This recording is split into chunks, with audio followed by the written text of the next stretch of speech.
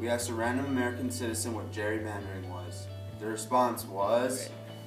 So, isn't it kind of like meandering? Like when you move really slowly, but you don't really know where you're going, you're just kind of like walking around. But I'm guessing it was invented by a guy no, named no, no, no, Jerry. no, no.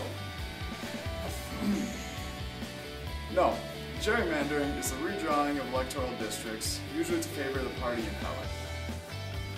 Politicians are able to draw perfect district lines by using party registration, race, and even magazine titles to choose who they want as voters. Every 10 years, borders of congressional and state legislative districts are redrawn.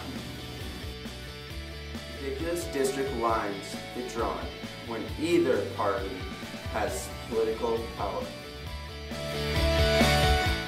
Many of the results were decided before you cast your vote. Voters should choose politicians, not the other way around. The burden of gerrymandering tends to heavily fall on African Americans and other minority communities. This is racism. This is not what America stands for. In 1964, a Supreme Court case, Wesberry v. Sanders, declared gerrymandering is unconstitutional.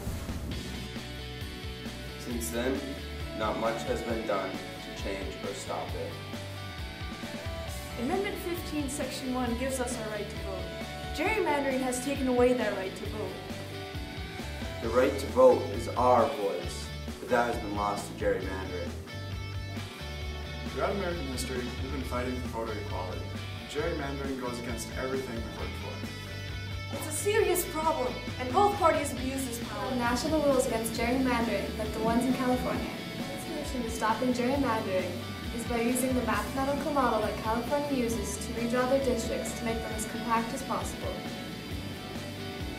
This makes use of demographics and political affiliation in the redrawing a criminal offense. States should take redistricting out of the hands of state legislator and entrust nonpartisan commissions. There are many solutions to solving this corrupt problem. It really doesn't have to be this way.